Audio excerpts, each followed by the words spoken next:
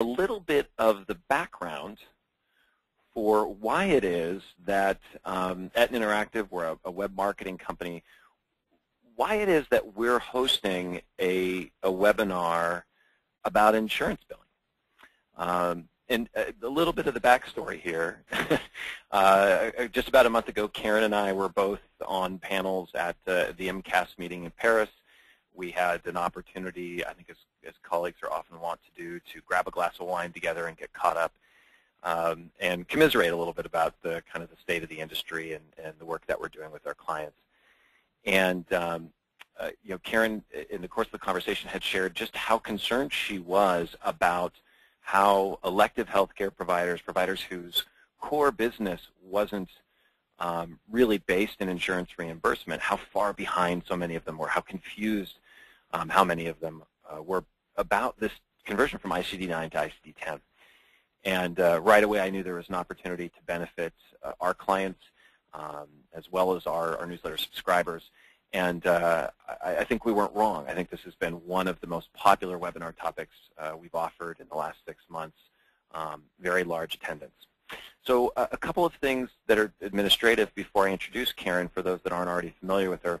Um, we are recording today's webinar. Uh, for those that are in attendance and those that weren't able to make the session, we'll be distributing a link within just a few days uh, so that you can watch this online and as many times as you'd like at your convenience. We'll also be distributing a handout that Karen's provided, an article um, that, uh, that she authored about this conversion. Uh, that's, a, I think, a great reference piece as well. Uh, again, that should all go out by Monday of next week.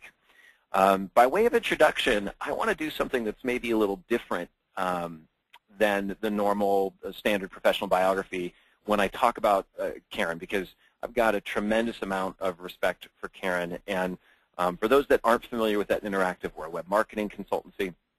Uh, we work with hundreds of uh, elective healthcare practices in the U.S. and Canada. And whenever we have a client who is um, struggling operationally, uh, we're kind of uniquely involved with our clients where we can often see things like very precise conversion rates and know when the office maybe has some, some operational challenges. Um, we turn to Karen and her team to help our clients in the areas where we can't. Um, and uh, it is without any reservation that, that we recommend that our clients turn to Karen for um, everything from uh, you know, biggest business structure issues to staffing challenges to sales and operational issues that come up. And very recently, we had a chance to do just that, and it is by sheer coincidence that 30 minutes before this call, um, I received an email from one of our clients with a glowing thank you. And I just, I think this is probably the best in, intro that I can give for Karen is to read just a little excerpt from that. And it says, hi, Ryan. I just wanted to drop you a note to say thank you so much for connecting me with Karen Zupko and Associates, and specifically the rep I'm working with named Glenn. I've been working with her since January, and uh, she just made her first visit to my office this week. She's truly exceptional in her ability to look at each individual in my practice, including myself, and evaluate our roles from a fresh perspective. Um, she understands the goals of of our practice and has helped refine our roles, which has already allowed us to improve the quality of service and the profitability of our enterprise. Um, I, I think to me this is this speaks so much to the kind of feedback I get um, whenever we refer clients to, to Karen and her team. And um, with that by way of introduction, I think what I would like to do is uh, give the keyboard and mouse controls over to, to Karen and, and uh, welcome her to the presentation. Right. Thank you so much for that warm introduction, and I'm glad to know that Glenn's doing uh, great work down in the state of Texas. And welcome, everyone. I've gone over the list of attendees, and it made me very happy to see so many of you are longtime friends and, and some clients, too. Our website, I just want to make the point that if there's a question that for some reason occurs to you later or that I didn't get to, if you use the Contact Us uh, box on our site, that would be great. Um, info at karenzupko.com does the trick. And down in the left-hand corner, if you are not already subscribed to the KZA alerts for plastic surgery or dermatology, I would encourage you to do that. Well, let's fasten our seatbelts. I hope everybody has pen and paper, and let's get started um, many people I've been out on the road talking about this subject, and so many people have said to me, well, you know, our, our doctors don't really think that ICD-10 is going to occur and that the deadline is going to be pushed back. And so we really haven't done much and, you know, we haven't scheduled any training. And I hate to be the bearer of uh, bad but accurate news. As of February 27th, just last week, Marilyn uh, Tavenner, who's the CMS administrator, indicated that come hell or high water, that ICD-10 deadline won't be delayed. So now is the time. Now is your time to get going on ICD-10. And I have a practical, actionable plan to share with you. That October 1st deadline, though, is not quite accurate. It's not quite accurate. Let me tell you why. Let me tell you why, in some ways, it's a lie. You're plastic surgeons. You have patients who are scheduling reconstructive surgery, elective reconstructive surgery, for some time in the future. Well, those prior authorizations, those pre-approvals, will have to be done in August and September for some October and November surgeries. So the first thing I want you to write down is, geez, who's doing the PAs in our practice? That person's training needs to be accelerated with the doctors because they're going to have to provide additional information for that staff person to get the green light, the okay on the top of your head to take the patient to the operating room. So let's look. Pre-authorization deadlines we found this on the California Blue Cross Blue Shield site. They'll be ready August 1st. Well, on the Blue Cross Blue Shield of Georgia site, they indicated that they would be ready as of June 1st, as of June 1st to accept their pre-authorizations, their prior approvals in the new coding language. Now, I've got a very important diagram and again, if you've not uh, been able to download the slides, if you please pick up your pen and take some notes. And there's a little post-it note you'll see on this slide that says post on calendar. That's uh, due to a suggestion that's coming right up about getting big calendars that you're going to post in the break room so we know what's supposed to happen, who's supposed to do it, and when it's supposed to happen. So let's look at this. Let's suppose that your physician does takes off a malignant lesion on September 25th. The surgery is done September 25th. You're filing that claim after October 1st because in true fashion the doctor's a little late in getting to his or her dictation. Because the case was done in September before the deadline, you will be using ICD-9. Now, if you have a surgery and the patient has said, I really want that October 15th date, but you're sending in your prior approval, you're making your prior approval on September 10th, you will be using ICD-10. So there is going to be what I call a very dangerous period of time when you're going to have to be sure that your speaking, your code speak is in the right language. So that's why DOS is in the middle of this slide. That date of service is your guideline.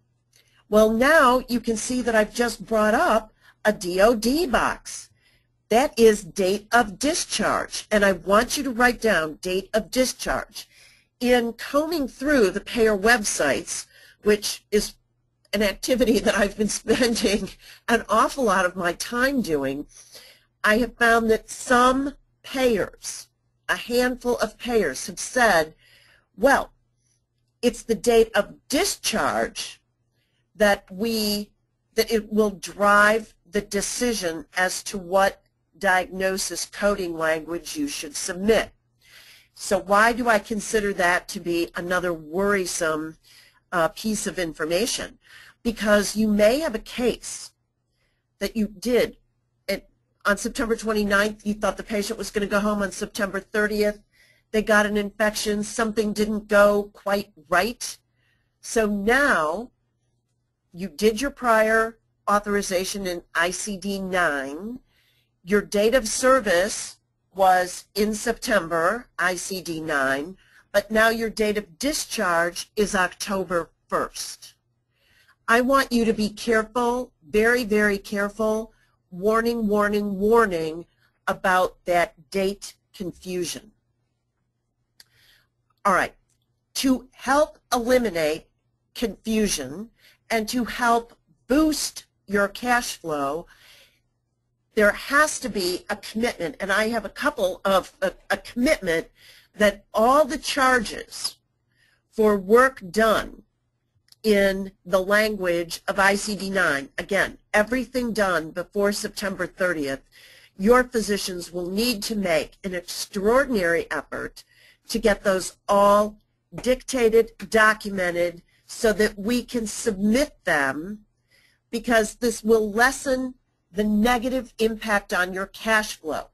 Those claims in the ICD-9 language should shoot right through, if they usually do, and result in a check sometime in early October. All right? So timeliness here is next to godliness and is next to your paycheck. Again, because doctors have said all kinds of silly things to me, some of which I'm going to show you these uh, quotes. I want you to remember you are paid on procedure codes, right, on CPT.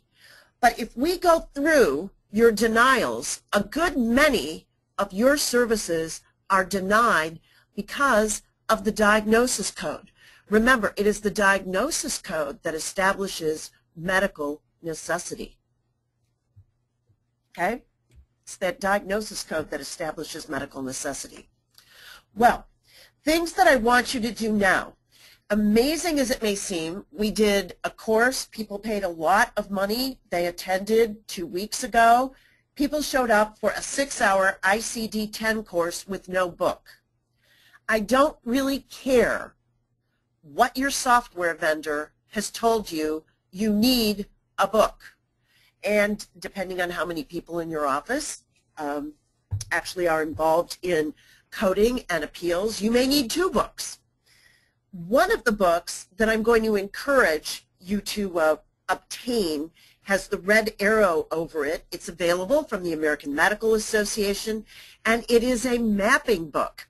This is a, a wonderful tool. We're all very uh, enthused about it here at KZA because you take your ICD-9 code, you look, and it will give you a complete list, if there are multiple ICD-10 choices, for each one of those nines. And I've got some examples from this book coming up, but I, I want you all to know it is well worth the money to have that book at hand.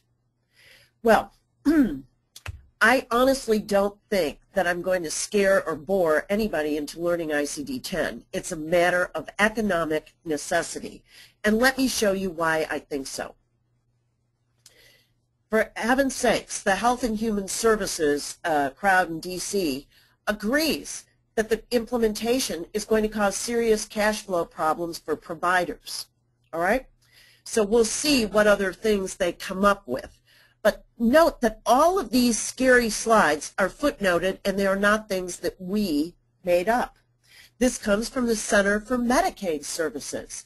And it says you're going to expect claim payment delays, denials, and that word will leave, be ringing in your ears loud and clear, and all sorts of other things that are going to mean that your office may experience higher call volumes to report and resolve claim authorization rejections due to incorrect coding.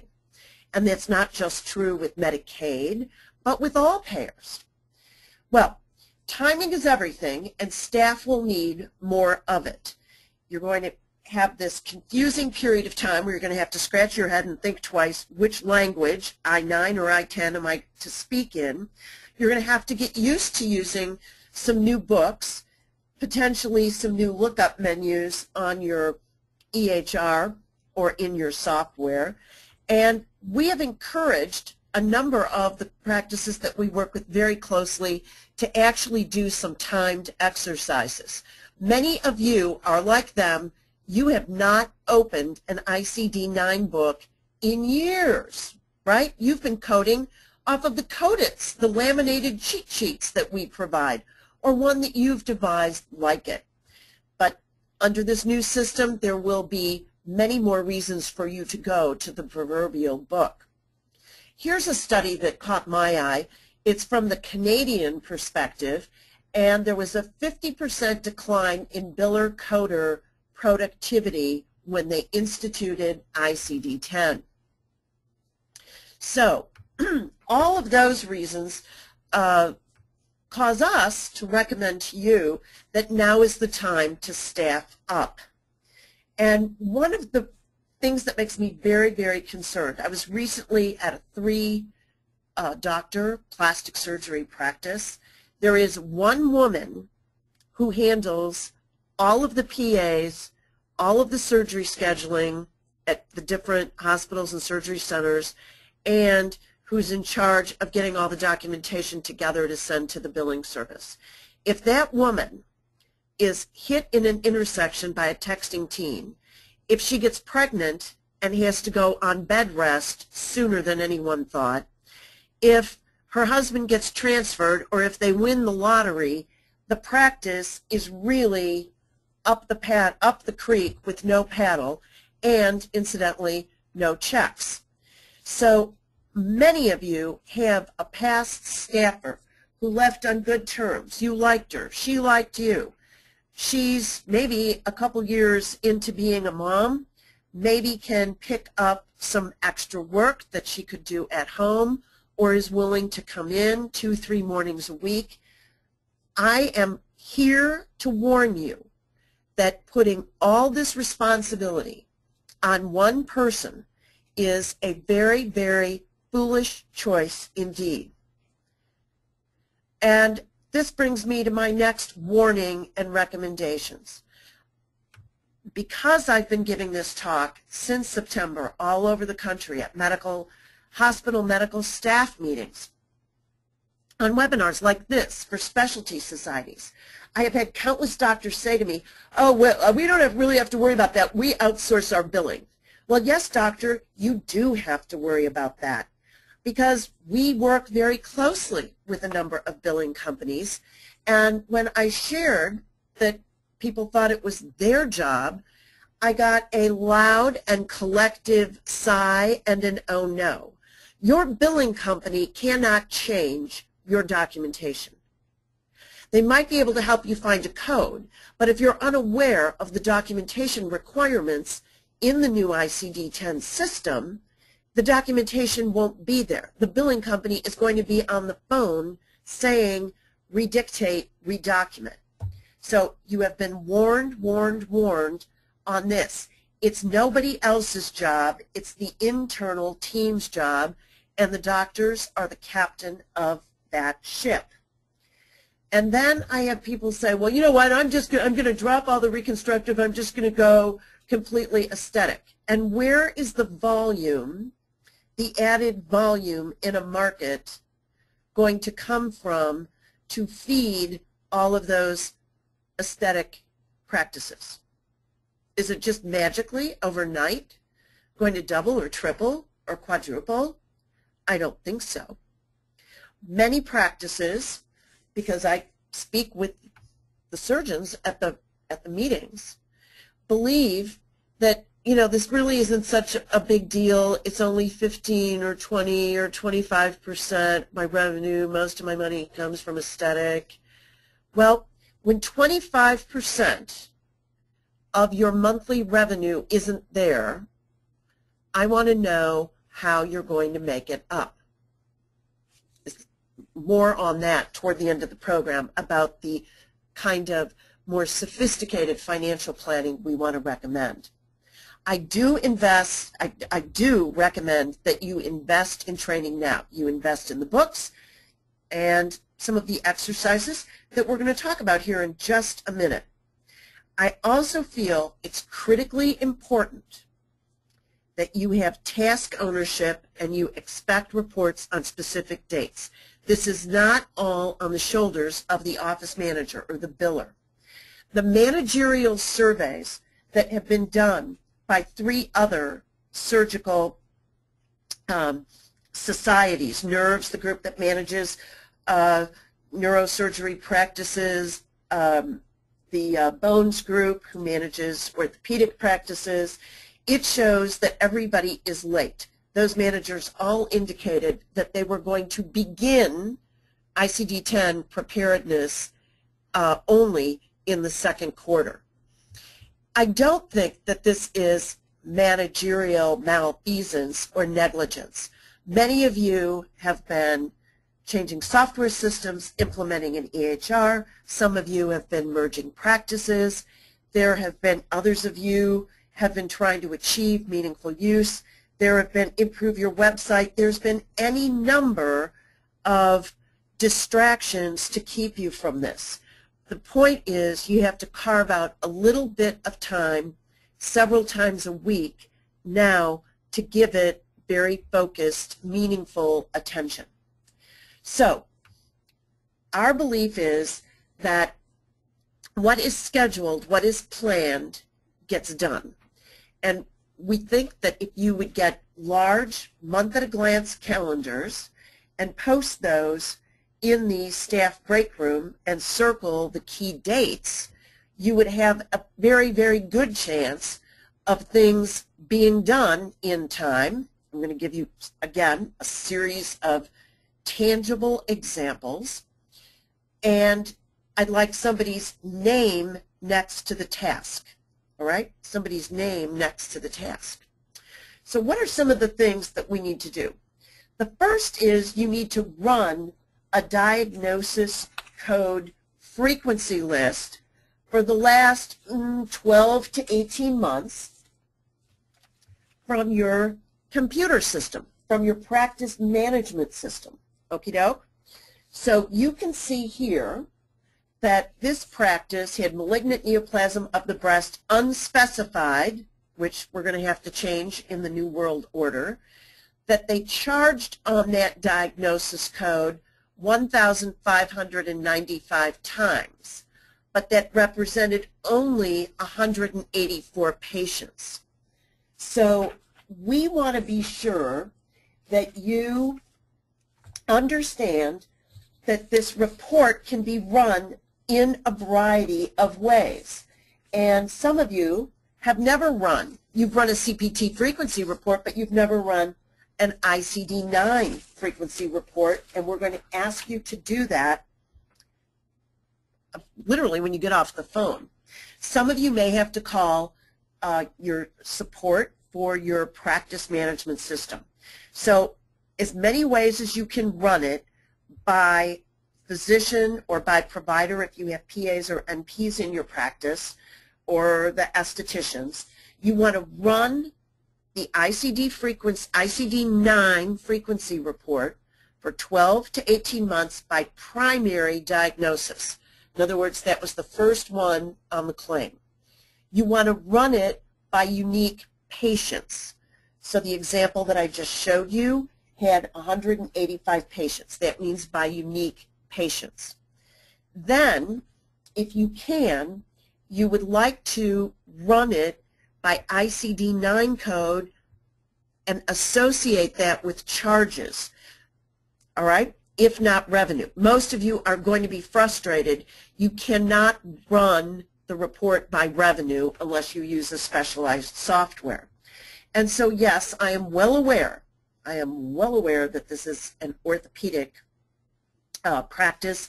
This is a practice that uses InfoDive, which is an amazing uh, report generator that runs over any practice management system. So in this, we're using this with our orthopedic clients, and as you can see, we can see the charge flag is the number of uh, unique patients, 1,059 in this group, and you can see their charges, their insurance payments, their patient payments, and their total payments. Okay? So that is helpful. Why do I believe that that's helpful? Because not every diagnosis code is created equal. There have been any number of these supposed authorities going their 69,000 codes. Well, for heaven's sakes, I doubt that the Mayo Clinic is going to use all 69,000 codes. You, as uh, oculoplastic, plastic surgeons, dermatologists, you're not going to use close to 69,000 codes. And you're not going to use all of the codes that might pertain to someone in your specialty. The issue is you want to focus on the diagnosis codes that you do use and that are producing the greatest amount of your revenue. So we think you go through this exercise to inform your learning objectives. And I need to caution you, there are any number of software companies and there's any number of clearinghouses that are saying, oh, don't worry, we'll provide you with GEMS. Well, you can see what we think of GEMS. It's in a big red circle with a line through it. GEMS stands for General Equivalency Mapping System. And it's just like this red glass ring surrounded by cubic zirconia. GEMS is free, free, free, and it's worthless, worthless, worthless because it goes right to those unspecified codes that is not going to get you paid in the New World Order. Well, what else do we think you should do? Again, these things, if the manager has two and a half hours to focus. We can get the ICD-9 frequency reports run in a couple different formats. We can lay those out, look at and, and pull our top 25 diagnosis codes. Then I want you to run a CPT frequency report. Again, this comes out of every single computer system I have ever worked with in the last 30 years. Well, when we pull that CPT frequency report. Um, again, most important cases, or pull some of the op reports from last week. If you had an ICD-10 book, I'd like to see if based on the actual documentation, if you could pull, pull and find a code, all right, based on that documentation. And again, time yourself and see how long it takes you. This is called uh, as documented, it's called a gap analysis. And we believe in setting BHAGs. What's a BHAG, you ask? A new acronym. It's a big, hairy, aggressive goal. So we think it would be a really, really good goal to set. Today's March 5th. If in the next 24 days you could get your top CPT, you could go through both top uh, visit codes and op codes, look at the diagnoses, and see if you can do your gap analysis. Geez, doctor, you didn't tell us this, so we couldn't find this in the new ICD-10 language, right? And we suggest this because this is pretty much the case. 65% of clinical documentation doesn't contain enough information for coders to use for billing in the new system. You want to start tuning up those templates. You want to start tuning up that invisible dictation outline that exists in the head of your 60-year-old doctor who's been a very good.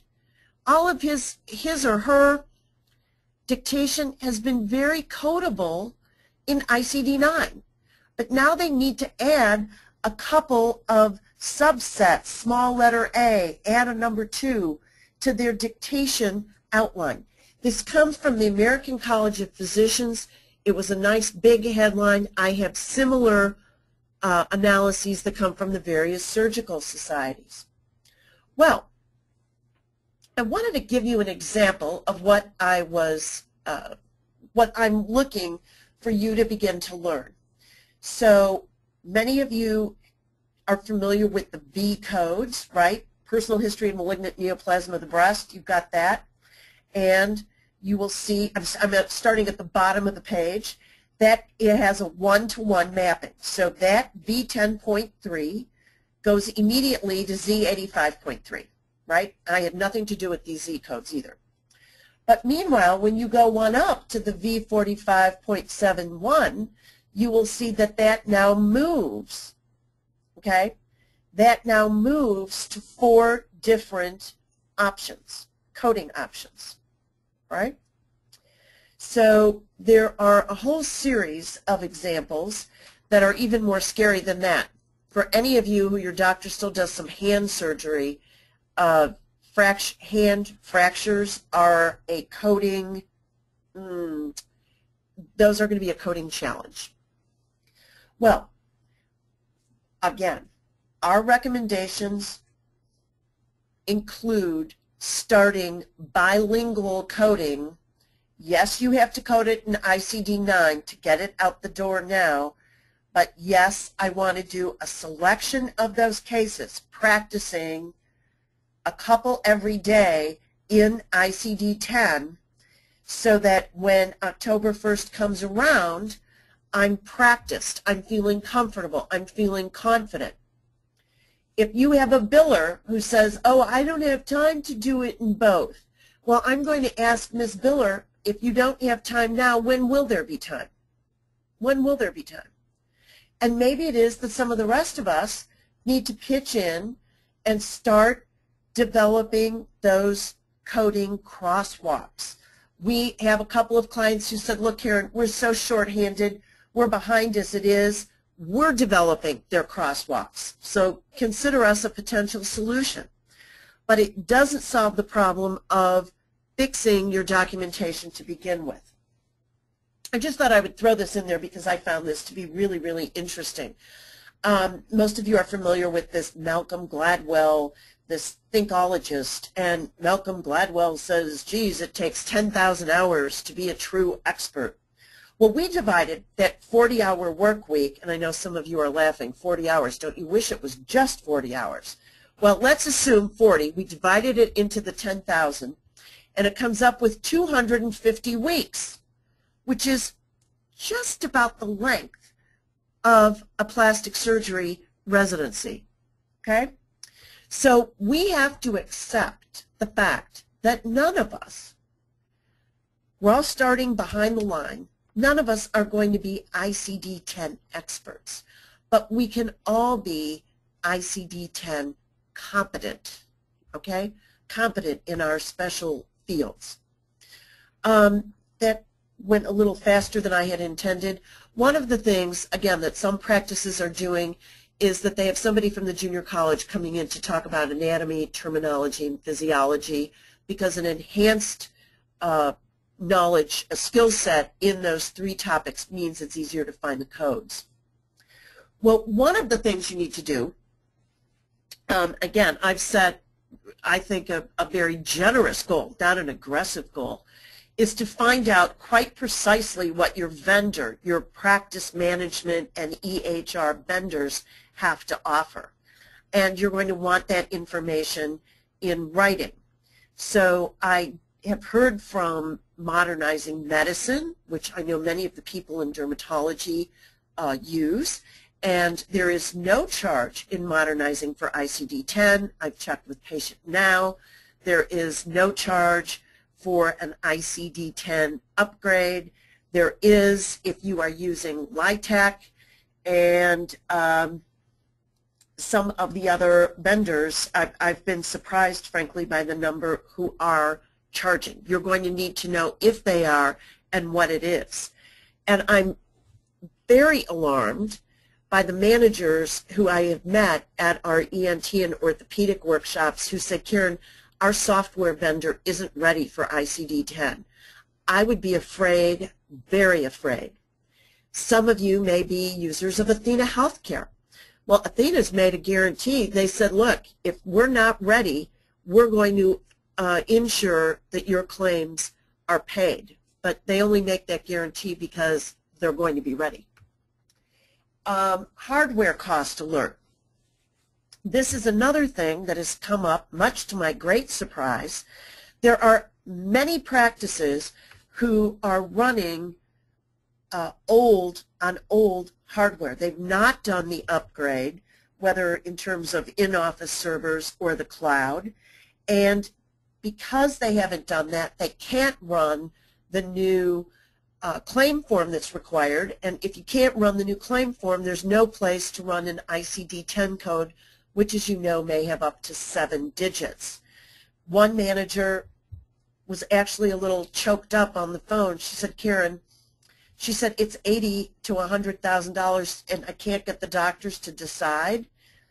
Um, and plus that, we really aren't prepared to write a check for it. Well, that's why we hope that your practice has a line of credit uh, available, and I'll talk more about that because everybody should. So the server alert is really, really, really important if you don't know because you're the new manager, because you're the biller, you don't know about technology, that needs to go on the list of things to find out about. Well, another source is your clearinghouse. What can your clearinghouse vendor offer? Sometimes when I'm giving this talk to doctors, they go, clearinghouse, uh, do we have a clearinghouse? Yes, of course. If you submit electronic claims, you have to have a clearinghouse. That's a group like Availity, like Navicure, like MDON, like uh, Gateway used to be before they merged with TriZetto. Those are examples of clearinghouses. I put a warning up there. I put a warning up there because several of the clearinghouse folks that I've spoken with said, oh, we'll be supplying GEMS. You need to start thinking of GEMS like you do a Trojan horse. If you're not familiar with your Greek mythology, go look up Trojan horse and you'll see what I mean.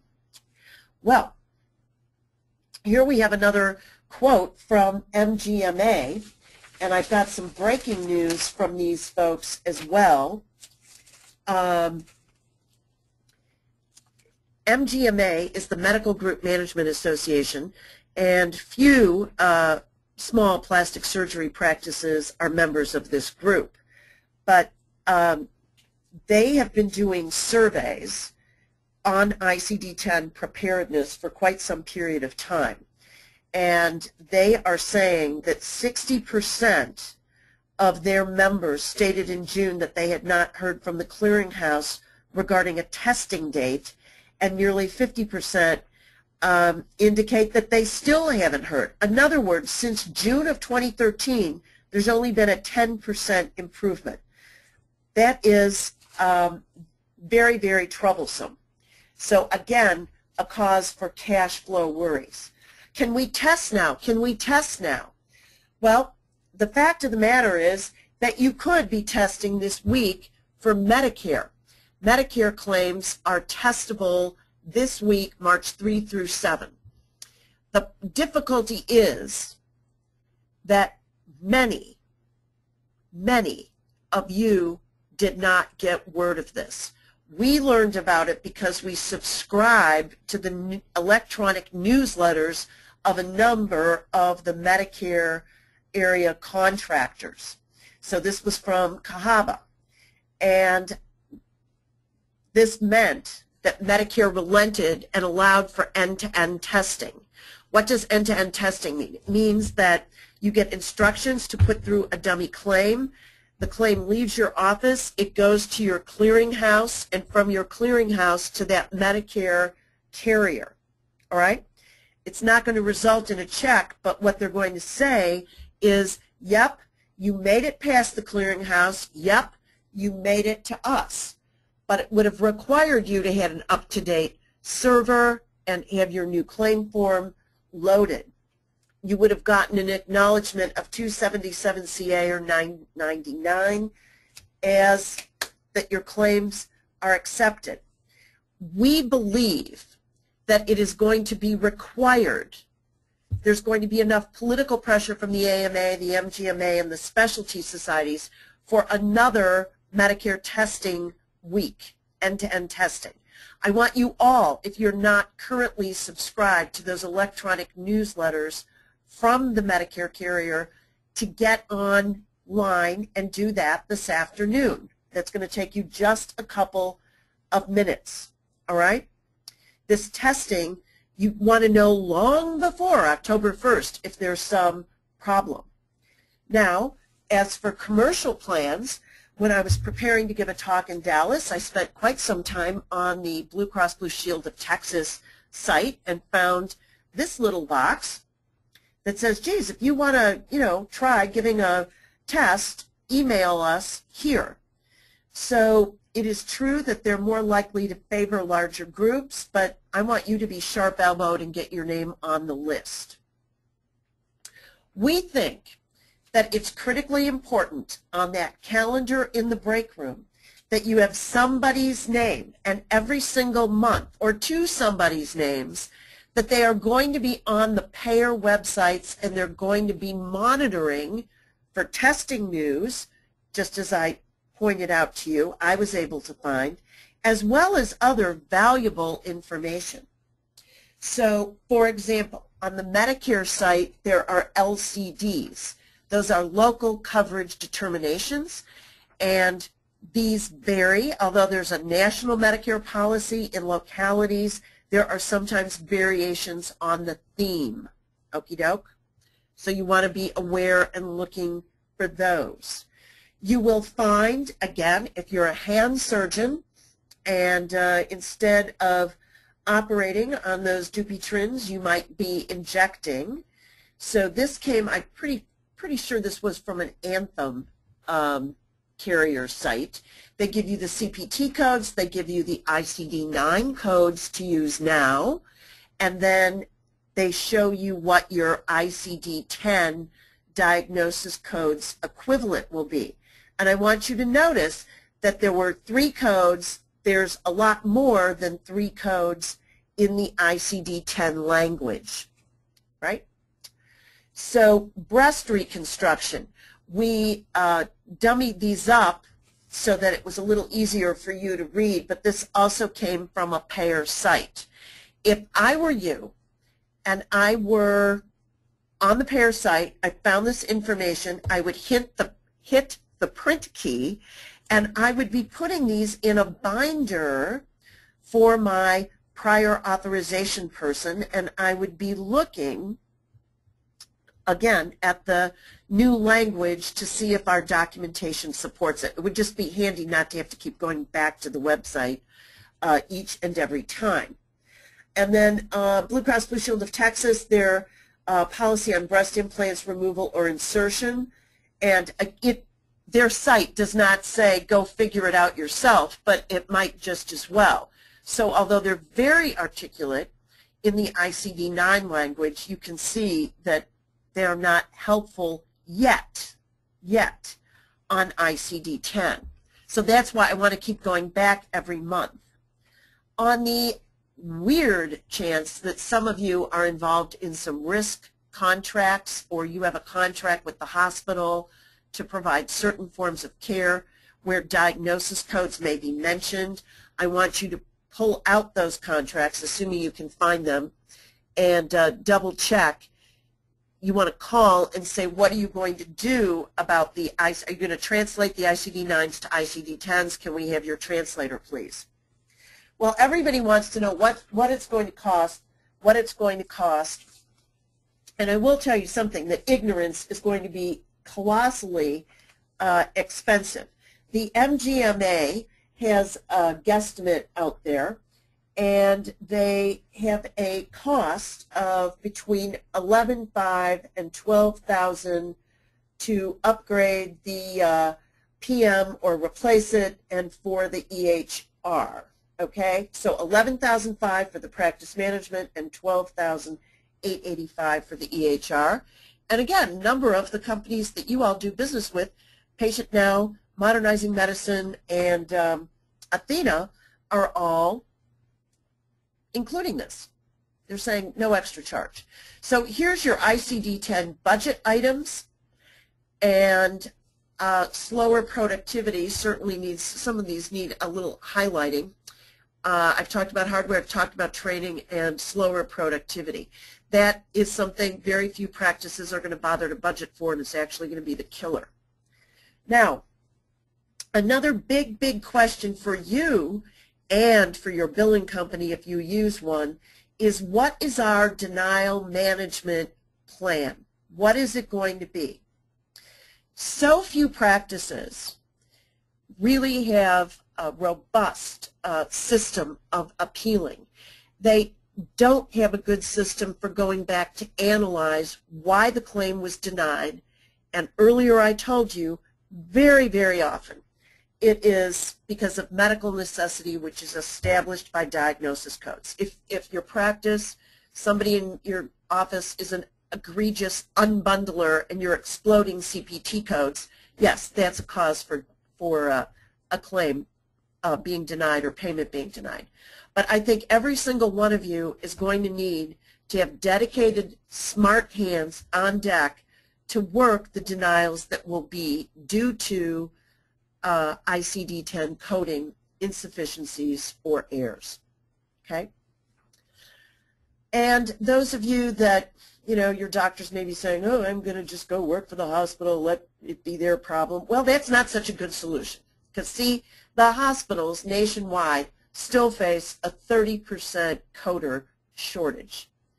And that's one of the other things we've discovered. We are working with an academic plastic surgery practice, and in their uh, Department of Surgery, three of their well-experienced senior coders have been poached by a local multi-specialty group seduced uh, by bigger paychecks. So again, a reason why we don't want to put all of our eggs in one coder basket.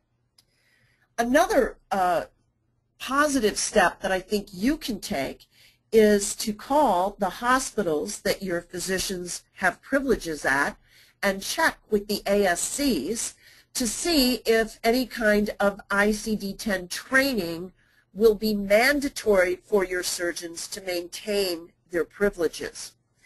And this is happening um, for in uh, institutions. We did a, for example, we did a study, and eight weeks ago, the Hand Surgeons uh, Society got a response of about 25% of their members, but since then, that number has grown. The instruction that will be given at these sessions will focus on the inpatient kinds of cases, the DRGs that make the hospital the most money or that the hospitals see the, where they have the potential of losing the most money. It is not going to help you in your everyday uh, practice. So the uh, 1500 is now called the O212, and if you look at this, you say, gosh, that looks just like the one we're currently using. Well, kind of, sort of, but not really.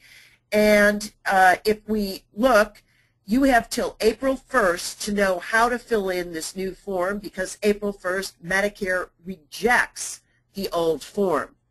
April 1st, they're going to reject it. And it's not exactly the same because in box 21 you'll see that we list codes by ABC. We used to list those codes, uh, as you'll recall, by 1, 2, 3. But this is just, and look at how many codes you are now allowed to list, how many diagnosis codes. So you can see that the payers are all going for greater specificity. If you go, once again, to your Medicare uh, carrier site, there should be a webinar for you training you about the differences. It looks very much the same, but it is not very much the same. So there are some important nuances you're going to want to know about before April 1st. Again, circle April 1st on your break room calendar. Well, we think that prudent practices will update their financial policies and processes now. And one thing I can tell you is that many plastic surgery practices have picked the worst of both worlds. That is, that they are out of network, they're out of network, yet they are not estimating and collecting patient liability. They have soaring accounts receivable uh, due to this bad, in my opinion, very bad choice. So I'm going to uh, recommend that you rethink that if that has been your stance. Uh, I'd like you to look uh, at your denials. I'd really like to ask your clearinghouse to send you a list of denials, investigate those uh, diagnosis code related denials and look to fix those now because then those should be fixed when we get to October 1st and your cash flow will be improved between now and October 1st. Plastic surgery practices also need to be better at appeals. Okay? Well, we're getting to the end of our program and I've got a few very important closing points. This quote, if you notice, comes from a banker at Wells Fargo. A banker at Wells Fargo knows about the higher percentage of rejected claims and impacted cash flow. She says now is the time to begin planning. Geez, we couldn't agree more. If your practice currently does not have a line of credit, you need one. You need one. A line of credit means that literally the bank takes a sum of money, puts it on a shelf with your name. When you need it, you call the bank and you say, hey, move 100000 out of my line of credit you might ask me, well, if there's going to be this cash flow disruption, how much do you think we need? Right? This hits October 1st. All right. Here's the way our consultants have analyzed this. The first thing I'm going to do is I'm going to ask the doctor or doctors, can you guys go without a paycheck? How long could you go without a paycheck? As a business owner, I know, because I don't have two kids in college, that I could go probably for two months without a check. All right? So then I would subtract the doctor paychecks off of what my monthly cash flow needs are. I will, is everybody straight with that? And I'm not being sarcastic. If the doctors all say, are you nuts? We all have to have our paycheck. Okay. Then at the very bare bones minimum, I would want three months of cash flow of operating, right, money on your expenses. I'd want to have three months of that in my line of credit. Our bigger groups, again, reading these from Healthcare Finance News, even if you're perfectly ready, which I'm hoping many of you will be, but I'm not going to bet on it, that they are delaying physician bonuses until ICD-10 pays. So in many group practices, surgical group practices, it's typical for the doctors to get a draw and then to bonus out at the end of every quarter. So we're saying, why don't you take your bonus money, put that in a bank account. It might uh, reduce the amount you need for your line of credit, and all things would be good. Okay? So in closing, I want you to resolve not to pull a Scarlett. Some of you who are fans, as I am, of this Hollywood classic, Gone with the Wind, will remember Scarlett's famous last lines, I'll think about it tomorrow. I want you to replace that kind of thinking with, I'll do something about it today. It's a journey. It's not you know, one, two, three, and we're done. But I think if you follow my recommendations, you start with the calendar, you divide the responsibilities, you have a stand-up, at least weekly meeting on ICD-10 implementation, you meet with your doctors to improve the dictation mental outline or the um, the deal that they have over there in transcription, you fix the EHR, that this whole thing can go a lot more smoothly for you. And lastly, we have two training webinars thus far that are done with Availity.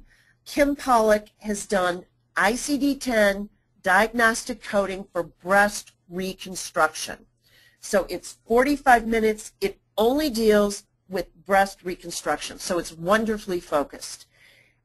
Uh, Joy McCusick, uh, one of our associates who has a degree, four-year degree in health information management, has done a wonderful program for dermatologists, facial plastics, and plastic surgeons called Skin in the ICD-10 Game, and it is all about those lesions and other kinds of codes. You have the um, web address here. You can write me at info at karenzupko.com. If you don't get that down, we'll be happy to send you information about where to find that. I'd like to thank you for listening to today's program, and we'll turn the mic back over to Ryan. Well, Excellent, Karen. Thanks so much. I think that um, our audience inevitably has taken a lot of great gems away. Uh, before we get started with Q&A, I, I, do want to just remind everyone that the way that this will work is on the right-hand side of your screen when you signed in to the webinar session today, that uh, you uh, had a little pop-up box that appeared, a little piece of software that uh, has a, a, a, section in there labeled questions. For those of you for whom it is closed, there'll be a plus sign next to it, and you need only click that little plus sign just to the left of the word questions, and you can start typing those questions in today, um, uh, right now, and we're going to be uh, going to be handing those off to Karen uh, as quickly as we can. Now, one of the things that's already come up uh, are some specific, I would say, kind of administrative questions about where to purchase certain things. Um, I want to remind everyone that we have recorded today's webinar. We'll be sending out the link to the recording um, by Monday, at the latest about three business days. And uh, you can play back, you can look at the, uh, the URLs that are referenced in the webinar set, you can look at the titles of the books and the recommendations that were made um, and reference those materials as you go looking for things. Uh, and as, if we get some uh, specific information back from Karen with the URLs that will reference, we'll try to add those to the text description of the recording as well, just to make it easy to, to click. So one of the first questions that came in, Karen, was uh, about clearinghouses, and specifically you referenced some clearinghouses that are relying on GEMS. If, if that happens, and the doctor hears from their clearinghouse that, yeah, they're going to be relying on GEMS, what are the, the alternatives for those practices? Okay, let me clarify that, Ryan. In other words, the clearinghouse representatives that I've spoken with said if somebody makes a mistake and sends in an ICD-9 code for a case they did October 2nd, right, after the deadline, we will send them back GEMS alternatives. They're not going to um, obviously they can't pick a diagnosis. They're not they're not licensed yeah. to do that. But that's the only thing they're going to give you will be choices from GEMS, which we consider to be a bad choice. Right. Okay? So that's why I have suggested that everybody does their most common list. We call them pick lists here because we we've done pick lists for three plastic surgery practices. One practice does a lot of hospital wound care. One doctor is purely aesthetic except for the skin lesion, the skin cancers he does in his ASC because he's got a deal with the local Blue Cross Blue Shield plan who pays him. Then another practice, he's got some aesthetic, he's on call, so he has trauma cases, plus, you know, the usual breast reconstructions, the kinds of things that you would expect to find. So just because you're a plastic surgeon or you're a dermatologist or you're an uh, oculoplastic, it doesn't mean as though your list looks like anybody else's. So we want everybody to create their own. We want you to find out what resources will automatically be popping up or be available to you in your EHR that are not based on GEMS. That's, that's the best way for people to word that question. Yes, it sounds like your advice there is that if, if your clearinghouse is saying they're going to be feeding, giving feedback based on GEMS, is to not trigger that feedback and be ready yourself right. to ensure that you, you've got the proper code submission. You got it. You Perfect. got it. So we, can I ask one, Can I add one other thing please. that I just um, am worried about? Again, because some of you, some of the listeners may have a junior partner that is on call and seeing comp cases, workers' comp, workers' compensation in some states, in Maine and Minnesota, we know for sure, will be accepting electronically the new claim form and will be accepting ICD-10. Workers' comp is not going to be doing that in every single state. So I encourage everybody, if you do file, you know, hand cases for comp, please be sure you check with your state medical association or the state uh, board that uh, regulates workers' compensation in your state. Okay? Perfect. And we're a little bit past the hour, but I want to take, if you don't mind, just a couple more minutes. You've got some great questions coming in. Um, uh, the Leanne writes that uh, she's heard that this is really only affecting hospital claims. Um, and uh, will we be recording all claims, not just um, those uh, that are inpatient? I guess what she's asking is, is ICD-9 totally gone, or are there cases where um, coding using ICD-9 standards is, is still going to be appropriate after the deadline? ICD-9 is no longer appropriate after the deadline. The entire world is going to ICD-10. So you will remember that I showed you Marilyn Tavenner's quote at the beginning.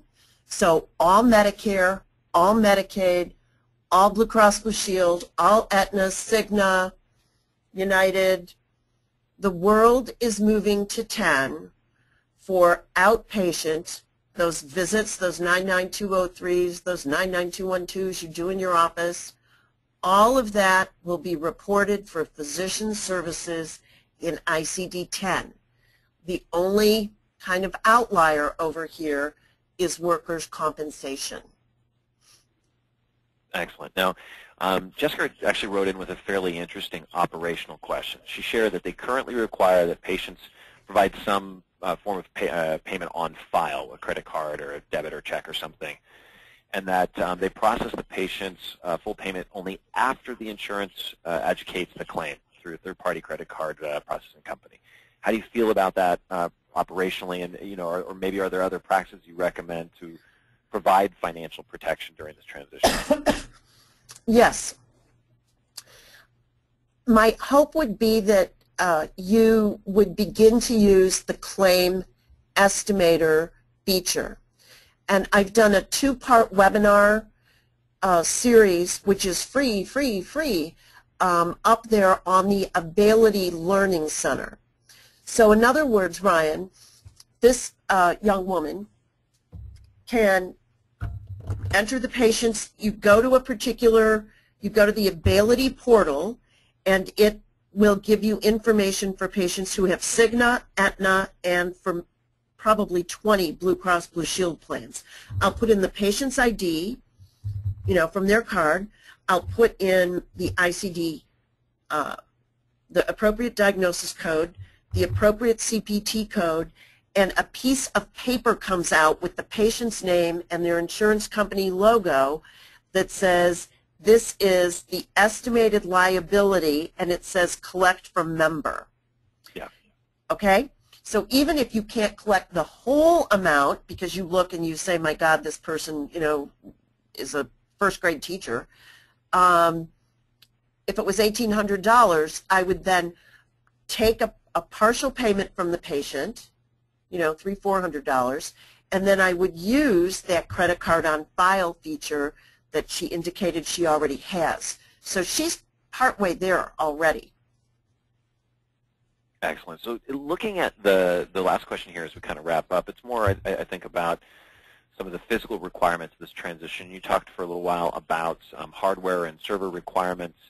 Um, and I, I think that the, I'm going to generalize this question so that I think it'll apply to more people, which is who, who should the practice be turning to and, it, and, and trusting about the hardware requirements, network requirements, those kinds of things, uh, as they're trying to you know, calendar their plan to make sure they're completely ready.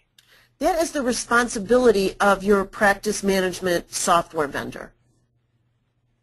Excellent. I, and I would uh, uh maybe add that I think that they're probably going to rely to some extent on the software uh, manufacturer, but their own IT uh, contractors. I would have my IT, I would have my IT guy call.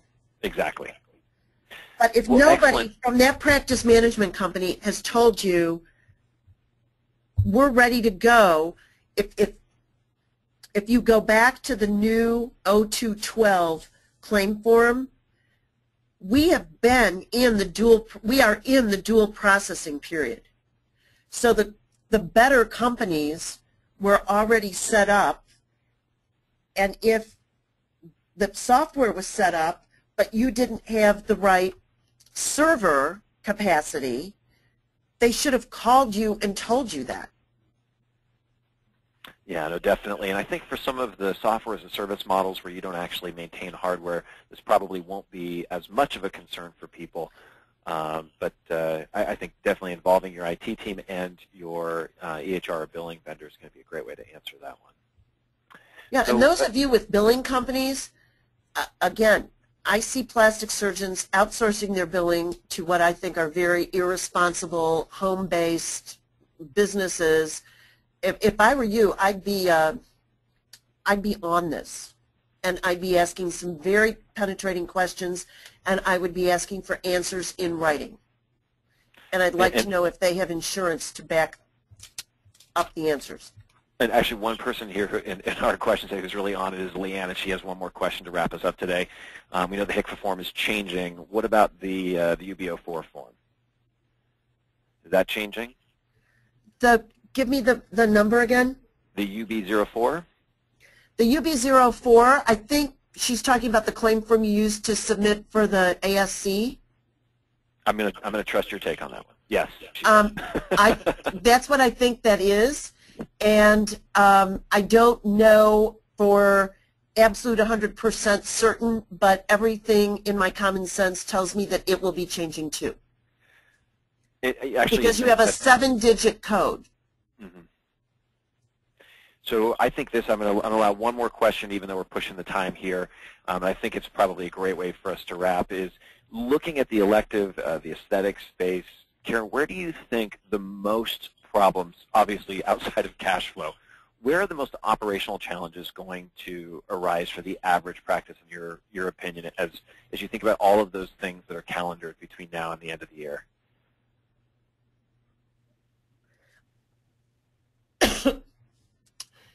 I think it's a lack of focus. Yeah. uh, it's a lack of focus. It's a post, post, you know, that Scarlett O'Hara. Well, we'll we'll think about that next month, guys. It's like only 200 and some days between now and that implementation, the official claim implementation date. But as I just demonstrated to you, it's shorter because you do your PAs, your prior authorizations in advance. And you know what? If you need help, raise your hand. You've got to tell the doctor.